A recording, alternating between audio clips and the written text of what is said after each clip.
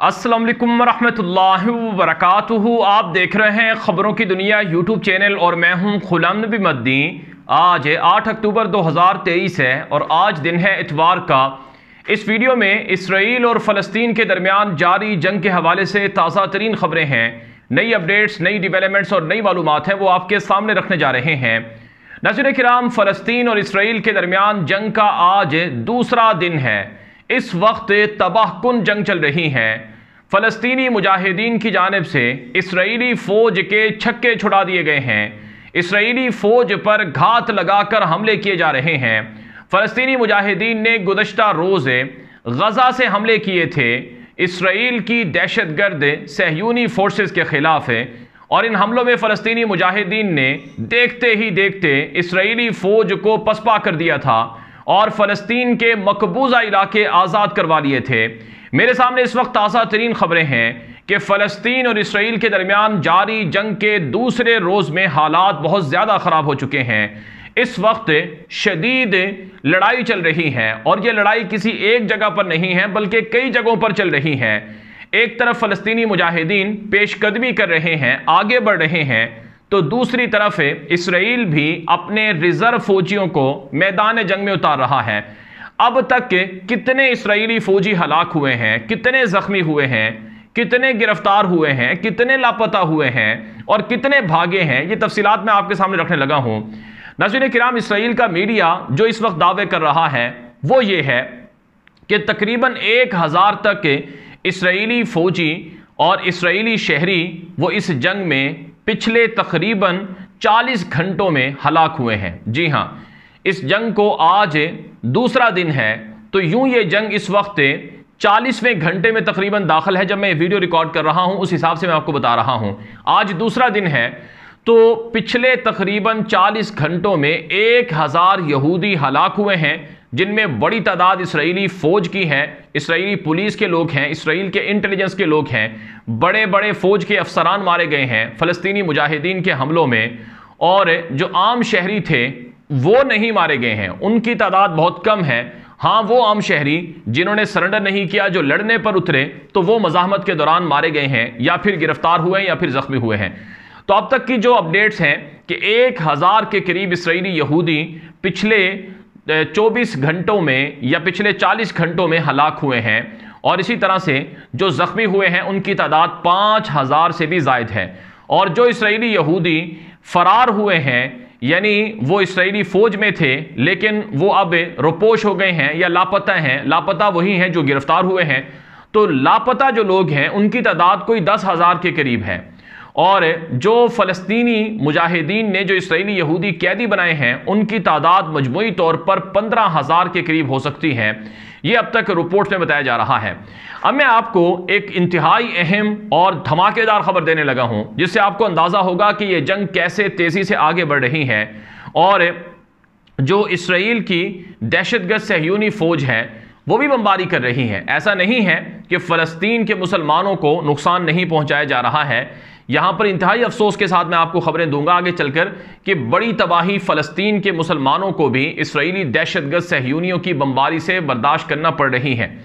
नाजिन कराम, जो खबर मेरे सामने है, वो ये है कि गज़ा से जो हमला हुआ था, ये गिलाफ गज़ा, यानी जो गज़ा के आसपास के इलाके हैं, उनको गिलाफ गज़ा कहा जाता है, ये वहाँ पर हमला हुआ था। अगर आप मैप देखेंगे, आप नक्शा देखेंगे, हमने अपनी वीडियोज़ में आपको पहले भी दिखाया है तो ये जो मुजाहिदीन थे, इन्होंने एक तो आसमान से फ़िज़ा से हमला किया, इनके पास उड़न तश्तरियाँ थीं, या पैराग्लाइड्स जिस तरह से होता है, उस तरह से इन्होंने अपने कमांडोज की ट्रेनिंग दी थी, और ये आसमान से उनके रिडार सिस्टम को, इसराइली रिडार सिस्टम को बाईपास करके उनकी ज़मीनों में दाखिल हुए थे। तो एक तो फ़िज़ा से दाखिल हुए, दूसरा ज़मीनी रास्ते से दाखिल हुए, और तीसरा इन्होंने समंदर से मूवमेंट की थी। ये पिछले रोज़ की बात है। तो अब तक जो इलाके फ़लस्तनी मुजाहिदीन ने आज़ाद करवाए हैं, ये गज़ा का जो मौजूदा रकबा है, उसके दो या तीन फ़ीसद ज़्यादा है, या तीन गुना ज़्यादा रकबा है। यानी अगर तीन गज़ा हो जाएँ, एक गज़ा की जो मुसाफत है, इसके मुकाबले में इसी तरह के दो या तीन गज़ा और हो जाएँ तो इतना बड़ा रकबा अब तक फ़लस्तनी मुसलमानों ने आज़ाद करवा लिया है, मुजाहिदीन ने आज़ाद करवा लिया है। अब जो फ़लस्तनी मुजाहिदीन जिस जगह पर पहुँचे हुए हैं, यहाँ से अदिफ़ाल गरबिया, जो मगरबी पट्टी है, वो तकरीबन पाँच से दस किलोमीटर के फासले पर रह गई है। आज का दिन बड़ा इंपॉर्टेंट दिन रहा है, क्योंकि आज भी बड़ी झड़पें हुई हैं और मुजाहिदीन तेज़ी से आगे जा रहे हैं। अब ये मुजाहिदीन आगे की तरफ़ पेशकदमी क्यों कर रहे हैं? अगर आप मैप देखेंगे तो आपको नज़र आएगा। मुजाहिदीन का हदफ यह है कि जो मगरबी पट्टी है मगरबी पट्टी के दरमियान तक जितने इलाके यहूदियों के कब्जे में हैं, उनको आज़ाद करवा लिया जाए। इसका फ़ायदा क्या होगा कि मगरबी पट्टी और अज़िफ़ा अलगरबिया ये मिल जाएँगे। तो अलखलील शहर है मगरबी पट्टी में फ़लस्तीन का। बड़ा मशहूर शहर है। यहाँ पर हज़रत इब्राहीम सलाम की और दीगर अम्बिया कराम की कब्रें भी हैं और फ़लस्तीन की जो दूसरी मुक़दस तरीन मस्जिद जिसे करार दिया जाता है, मस्जिद इब्राहिमी भी अलखलील शहर में वाक़ है। तो गज़ा के जो मुजाहिदीन हैं, ये अल खलील शहर तक पहुँचने वाले हैं। और ख़बरें आ रही हैं कि अल खलील शहर में जब गज़ा के हमास के मुजाहिदीन जब पहुँचेंगे तो इसका मतलब ये होगा कि बासानी हमास के जो मुजाहिदीन हैं, वो मस्जिद अक्सा और बैतुलमुक़दस तक पहुँच जाएँगे। गज़ा पर जो हुक्मरानी है, वो हमास की है और उनके साथ इतिहादी जमातें भी हैं। और हमास एक बड़ी एडवांस किस्म की ये तहरीक है। और इस तहरीक की बुनियाद जो शेख अहमद यासिन हैं, बड़े मशहूर एक आलम दीन थे फ़लस्तीन के, उन्होंने रखी थी। और उनकी ये पेशन गोई थी, शेख अहमद यासिन की ये पेशन गोई थी कि 80 साल के बाद इसराइल नाम का कोई मुल्क नहीं होगा। आपने उनकी तस्वीरें देखी होंगी शेख अहमद यासिन की। तो शेख अहमद यासिन बड़े मुजाहिद आदमी थे और उनको इसराइल ने कई हमलों के बाद उन्हें शहीद कर दिया था, बमबारी करके। तो शेख अहमद यासिन के ये सारे जानशीन हैं जो इस वक्त हमास में आपको नज़र आते हैं। तो ये जो लड़ाई चल रही है, इस लड़ाई में शेख अहमद यासिन की वो पेशन गोई भी मुजाहिदीन के सामने है कि 80 साल तक इसराइल रह सकता है 80 साल के बाद इसराइल नहीं होगा। तो आज ये जो तूफ़ान उलक्सा के नाम से जो ऑपरेशन मुजाहिदीन ने शुरू किया है, इसमें उन्होंने यही कहा है कि हमने अपने अबाव अजदाद की जो पेशन गोइयाँ हैं और उनकी जो दुआएँ हैं, उनकी बदौलत कामयाबियाँ हासिल करनी है। तो अब गज़ा के जो लोग, अगर ये अब्दिफ़ा गरबिया तक के सारे इसराइली जो मकबूजा इलाके हैं, फ़लस्तनी जो मकबूजा इलाके हैं, ये आज़ाद करवा लेते हैं तो इसका मतलब ये होगा नाजिन कराम, कि पूरा सहराए सीना ये मुसलमान कब्ज़ा कर लेंगे, यानी इसे आज़ाद करवा लेंगे, और यूँ अब्दिफ़ा गरबिया के दरमियान जो रुकावट थी, गज़ा और अब्दिफ़ा गरबिया के दरमियान, वो ख़त्म हो जाएगी। तो अब तक की जो जो जंग की सूरत हाल है, वो ये है कि मुजाहिदीन पीछे नहीं हट रहे हैं, वरना माजी में ऐसा हुआ है।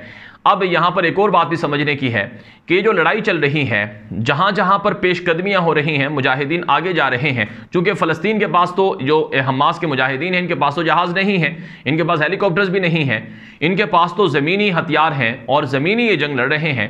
और इन्होंने जो ऑपरेशन शुरू किया है, जो इसमें कमांडर शामिल हैं, जंगजू या मुजाहिदीन शामिल हैं, उन्होंने कहा कि या तो फ़तह है या शहादत है। तीसरा रास्ता नहीं है इनके सामने। या तो कामयाबी हासिल करके यहूदियों से अपने इलाके आज़ाद करवाने हैं, या फिर अगर आज़ाद नहीं करवा सके, जंग के दौरान यहूदियों से लड़ते लड़ते शहादत के मरतबे पर फायज होना है। वापसी का रास्ता नहीं है। कश्तियाँ जलाई हुई हैं, वापसी का कोई रास्ता नहीं है। जितने लोग अब तक इस जंग में शरीक हैं, सबने अपनी वसीयतें लिखवाई थी, सबने अपनी वसीयतें की थी, सब अपने अहल अहल खाना से, रिश्तेदारों से मिलकर आए थे कि हम एक बड़ी मुहिम पर जा रहे हैं। तो बहरहाल अब ये जो कार्रवाई चल रही है, इसमें इसराइल को बड़ा धचका लगा हुआ है, क्योंकि घात लगा लगा कर हमले हो रहे हैं। और एक और बात समझने की है कि जिन इलाकों में फ़लस्तनी मुजाहिदीन दाखिल होते हैं तो वहाँ पहले से जो अरब मुसलमान हैं, वो मौजूद हैं तो वो उनका इस्तकबाल करते हैं। जैसे अफ़गान तालिबान ने अफ़गानिस्तान में कंट्रोल हासिल करने के लिए जब फैसला कन ऑपरेशन किया था तो जैसे लोग उनके साथ ताउन कर रहे थे, हमें यही बिल्कुल इसी तरह का जो मंजरनामा है, वो फ़लस्तीन में देखने को मिल रहा है। अब यहाँ पर मुजाहिदीन को एक मसला दरपेश है। वो ये कि वो ज़मीनी रास्ते से जब आगे बढ़ते हैं तो ऊपर से जो इसराइली जहाज़ हैं, वो आकर बमबारी कर देते हैं। तो ऐसे कई जगहों पर आज बमबारी हुई है, जिसमें कई मुजाहिदीन को पेशकदमी के दौरान शहादतें देखना पड़ी हैं।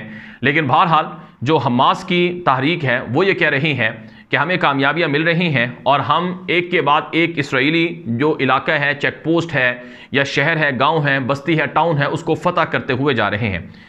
अब ये तो हो गई जंग की सूरत हाल जो मैंने आपके सामने रखी है। ये मुख्तलिफ़ ज़राया ब्लाक से जो चीज़ें, जो ज़राया ब्लाक से और जो हमारे ज़राए से जो चीज़ें हैं वो मैंने आपके सामने रख दी हैं।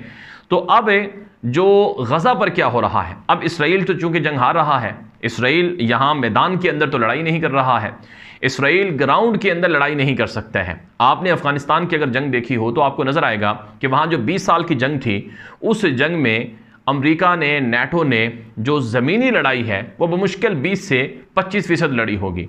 अमेरिका और नेटो की जो अफ़गानिस्तान में लड़ाई थी, उसका 70 फ़ीसद से जायद जो ऑपरेशन थे, वो सारे फ़िज़ाई ऑपरेशन थे। कोई पचास हज़ार या शायद इससे भी ज़्यादा बम अमेरिका ने फ़िज़ा से गिराए थे। और अब तक इसराइल के जो जंगी जहाज़ इन पिछले 24 घंटे या 48 घंटे में इस्तेमाल हुए हैं, उनमें एफ़ थर्टी फाइव हैं एफ़ एफ़ सोलह जहाज़ हैं एफ़ फिफ्टीन हैं, ये जहाज़ इस्तेमाल हुए हैं और इनसे बमबारी की गई है। और इसराइल के पास है जो गज़ा की आवाम है, फ़लस्तीन के मुसलमान हैं, उन पर हमला करने के अलावा कोई और ऑप्शन है ही नहीं। अब वो मुजाहिदीन के साथ आकर नहीं लड़ते हैं। मुजाहिदीन के ठिकानों को तो वो तलाशी नहीं कर सकते हैं। तो अब वो आकर बमबारी कर रहे हैं गज़ा शहर पर। गज़ा के जो छोटे छोटे जो टाउन्स हैं या बड़े बड़े मरकज़ी जो मेन जगह हैं, वहाँ पर आकर इसराइल के जंगी जहाज़ बमबारी कर रहे हैं। चुनाचे खान यूनस में जो एक इलाका है गज़ा का, वहाँ पर जो बमबारी हुई है, उसमें बड़ी बड़ी तबाही हुई है बड़ी बड़ी बिल्डिंग्स गिर गई हैं। अब तक पिछले तकरीबन 24 से 30 घंटों में जो इसराइल के जंगी जहाज़ों ने बमबारी की है, उसके नतीजे में कोई 500 से जायद फ़लस्तनी मुसलमान शहीद हुए हैं। और तीन हज़ार के करीब फ़लस्तनी मुसलमान ज़ख्मी हुए हैं। जो लोग आज दर्स दे रहे हैं कि इसराइल के साथ बड़ा जुल्म हो रहा है, इसराइल के साथ बड़ी ज़्यादती हो रही है, इसराइल के साथ लड़ाई नहीं करनी चाहिए, वगैरह वगैरह, उन्हें शर्म आनी चाहिए, वो गज़ा को देखें कि गज़ा के साथ मुसलमानों पर क्या बीत रही। पूरा पूरा ख़ानदान शहीद हो गए छोटे छोटे बच्चे हैं, जो तस्वीरें इस वक्त हमारे सामने, हम यूट्यूब की पॉलिसी की वजह से शायद आपके सामने नहीं दिखा सकते, लेकिन अगर आप सोशल मीडिया पर जाएँ, ट्विटर पर जाएँ, आपको नज़र आएगा कि छोटे छोटे बच्चे हैं, मासूम पूरा पूरा ख़ानदान है पूरी पूरी बिल्डिंग्स हैं, उनको तबाह कर दिए हैं। और पहले इसराइल के जंगी जहाज़ ऐसा करते थे कि जब किसी जगह पर बमबारी करनी होती थी तो वहाँ पर पहले वो सायरन या ऐसा कोई बम गिराते थे जो जो अलामत होती थी कि यहाँ पर बमबारी होनी है, लोग निकल जाते थे। लेकिन अब वो अंधाधुंध बमबारी कर रहे हैं, खौफनाक बमबारी कर रहे हैं, जिसके नतीजे में अब तक सैकड़ों फ़लस्तनी मुसलमान शहीद और ज़ख्मी हो चुके हैं। लेकिन हमास की जानब से कहा गया है कि अगर हमारा एक फ़लस्तनी मुसलमान शहीद होगा तो बदले में हम दस यहूदियों को लाजमी मारेंगे। चुनाचे रसोल खबरें आ रही हैं कि कल रात भी मिज़ाइलों की बारिश की गई थी इसराइल के ख़िलाफ़ और तिल अबीब में, अस्कलान में और दीगर शहरों में काफ़ी तबाही मची थी और दर्जनों इसराइली यहूदी हलाक हुए थे और ज़ख्मी हुए थे। आज भी बड़ी तादाद में मिज़ाइलों की बारिश का ऐलान किया गया है। हमास की जानब से और जो कातिल, जो बम्बार तैयारे हैं, जो अजुवारी के नाम से हैं, उनका भी इस्तेमाल किया जा रहा है। जिस तरह से ईरान के कातिल बम्बार ड्रोन तैयारे रशिया, यूक्रेन के ख़िलाफ़ इस्तेमाल कर रहा है, बिल्कुल इसी तरह के जहाज़ भी हमास जो है वो इस्तेमाल कर रही है। तो यूँ नाजिन कराम हालात बहुत ज़्यादा ख़राब हैं। मुसलमानों को भी काफ़ी नुकसान हो रहा है, लेकिन उसके मुकाबले में इसराइल को इतना ज़्यादा नुकसान हुआ है कि वो नाकबिल बर्दाश्त और नाकबिल बयान है।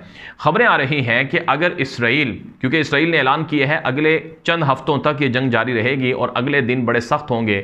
और इसराइल की जानब से कहा गया है कि हम तैयारी कर रहे हैं एक बड़े ऑपरेशन की, और ये बड़ा ताकतवर ऑपरेशन होगा और हम हमास को सबक सिखाएँगे, ये इसराइल की जानब से कहा गया है। तो माहरीन ये बता रहे हैं कि अगर इसराइल आकर हमला भी करता है और मुजाहिदीन के ख़िलाफ़ ऑपरेशन भी करता है तो जो ख़िलाफ़ गज़ा के, यानी जो इलाके मुसलमानों ने फ़तह किए हैं, वो उनको नहीं हासिल कर सकते हैं। अगर वो मुसलमानों के, मुजाहिदीन के फ़तह किए हुए इलाकों को अगर छीन भी ले तो यहाँ पर इसराइली यहूदियों को लाकर आबाद करना बड़ा मुश्किल होगा, क्योंकि यहूदी अब यहाँ पर नहीं आएँगे। उनको पता चल गया है कि क्या यहाँ पर सूरत हाल है। अगले 50 सालों तक अगर कब्जा भी कर ले इसराइल, यहाँ पर आबादकारी नहीं कर सकते हैं। इतना खौफ बैठा हुआ है यहूदियों के दिलों में। लेकिन बहरहाल, इस वक्त जो लड़ाई है, ये आगे बढ़ रही है, तेज़ हो रही है। अगर वो गज़ा पर बमबारी करेंगे तो मुजाहिदीन भी मिज़ाइलों से तिल अबीब को तहस नहस करेंगे। कल रात भी बड़ी तबाही तिल अबीब में हुई थी और अब भी आज रात भी बड़े बड़े हमले करने का ऐलान किया गया है। नसीन कराम, इस हवाले से इसराइल एक तरफ़ है, गज़ा पर बमबारी कर रहा है और बड़े ऑपरेशन की तैयारी कर रहा है तो दूसरी तरफ़ खबरें आ रही हैं कि मुसलसल इसराइली हुकाम अमरीका से रबते में हैं और अमरीका से ये कह रहे हैं कि किसी तरह से ये जंग बंद करवाएँ, हम ये जंग नहीं लड़ सकते हैं। हालाँकि अमरीका और इसराइल, अमेरिका ने जो इसराइल को सपोर्ट दी है, अब तक करोड़ों डॉलर की, लाखों अरबों डॉलर की, और जो यूरोप और अमेरिका पूरी दुनिया जो इसराइल के साथ खड़ी हुई है, उसकी वजह से उन्हें तो मदद लेने की मजीद ज़रूरत ही नहीं थी। लेकिन अब वो मिन्नत समाजत कर रहे हैं। मिस्र पर प्रेशर है, उर्दन पर प्रेशर है, महमूद अब्बास की हुकूमत पर प्रेशर है, सऊदी अरब पर प्रेशर है, तुर्की पर प्रेशर है, कतर पर प्रेशर है कि किसी तरह से हमास को कहें कि ये जंग बंद करें।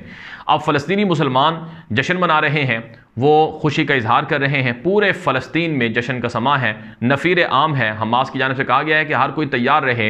हमने पीछे नहीं हटना, हमने मस्जिद अक्सा को बैतुलमुक़दस को आज़ाद करवाना है। पूरी दुनिया के मुसलमान इस जंग पर नज़रें लगाए हुए हैं कि कब मस्जिद अक्सा आज़ाद होती है, कब फ़लस्तीन आज़ाद होता है। भारत ये जंग जारी है। इस वक्त इस जंग के अंदर हालात काफ़ी ख़राब हैं। इस जंग की जो ताज़ा तरीन डेवलपमेंट्स हैं अपडेट्स हैं, ख़बरें हैं, वो हम आपके सामने अपने यूट्यूब चैनल ख़बरों की दुनिया पर नशर कर रहे हैं। अगर आपने अभी तक इस चैनल को सब्सक्राइब नहीं किया तो इसे खुद भी करें, दोस्तों के साथ भी कर लें, क्योंकि आलमी ख़बरों का, आलम इस्लाम की ताज़ा सूरत हाल का, फ़लस्तीन की जो मुस्तनद ख़बरें हैं, वो हम आपके सामने इस चैनल पर अपने वी लॉग्स की वी लॉग्स की शक्ल में नशर कर रहे हैं। अपनी राय भी दिया करें कॉमेंट्स किया करें, और इस चैनल को इस वीडियो को जितना आम हो सके आम करें, ताकि ज़्यादा से ज़्यादा लोगों तक ये बात पहुँचे और लोग फ़लस्तनी मुसलमानों के लिए दुआएँ करें और अपनी खसूसी दुआओं में फ़लस्तनी मुसलमानों को मुजाहिदीन को याद रखें और जो इसराइल की सहयूनियों के जो जुल्म है, ये दुनिया के सामने उजागर हों। अब तक की बड़ी डेवलपमेंट्स हैं। अपडेट्स और मालूम हैं जहाँ तक पहुँचाई गई हैं। अपनी राय दिया करें। इजाज़त दीजिए। असल वरहमल वर्का